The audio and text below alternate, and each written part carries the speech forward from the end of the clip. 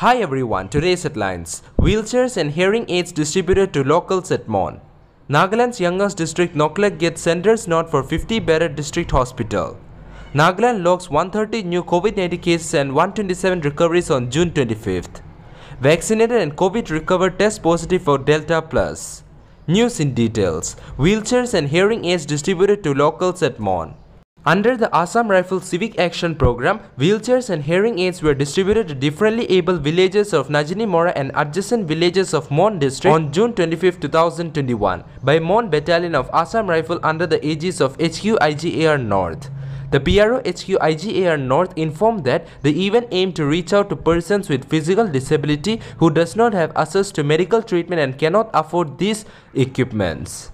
Nagaland's youngest district Noklak gets centers not for 50 bedded district hospital. In a good news for the people of Nagaland and the youngest district Noklak, Union Health Ministry Government of India has approved to set up district hospital at Noklak. Government of India has approved to set up 50 bedded hospital in the Noklak.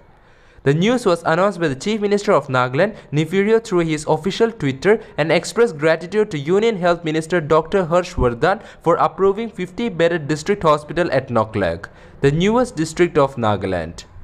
This will greatly help the citizens of the district to access quality healthcare services, the Chief Minister added.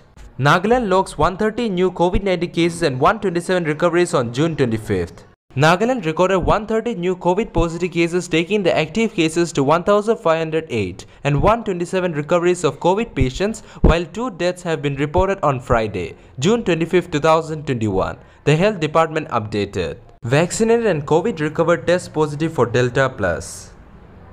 In the first case of Delta positive in Rajasthan, a 65-year-old woman who recovered from COVID-19 in May and had undergone both doses of vaccination has tested positive with the variant. However, the woman is healthy, confirmed government officials. With this, Rajasthan became the ninth state in the country to register the new virus strain.